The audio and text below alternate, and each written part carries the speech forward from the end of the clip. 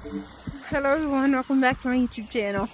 So, I just tried that shark glitch thing that Chase Plays does, not believing it was real. And then I got launched across the map, and if the wind barrier wasn't here, I would have been back in my home, kicked out. So, I want to see if I can do it again but on camera. Gotta find the shark first though. There he is.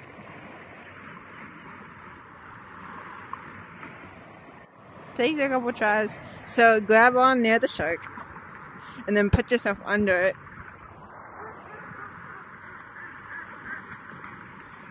And then wait. Oculus menu. And then that. I actually only took a photo. But I went higher than that. I want to do it again. Huh. You can't use them. Damn come on. Ask dad. Oh shit, okay.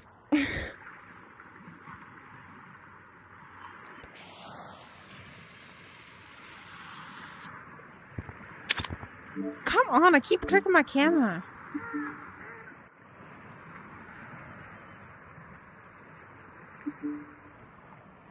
I don't want these photos.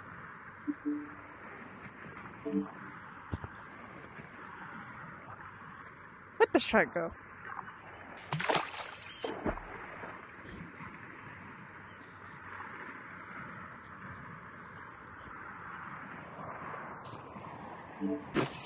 Yeah, that.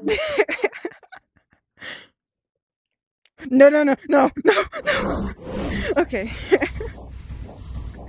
That's so cool. Well, now I'm just okay.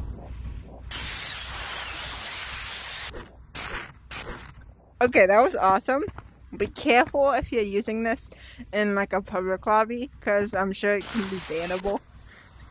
They might think you're using mods. So be careful using that in public. That's why I'm doing it in a private lobby. So yeah, this video is me just basically trying it out.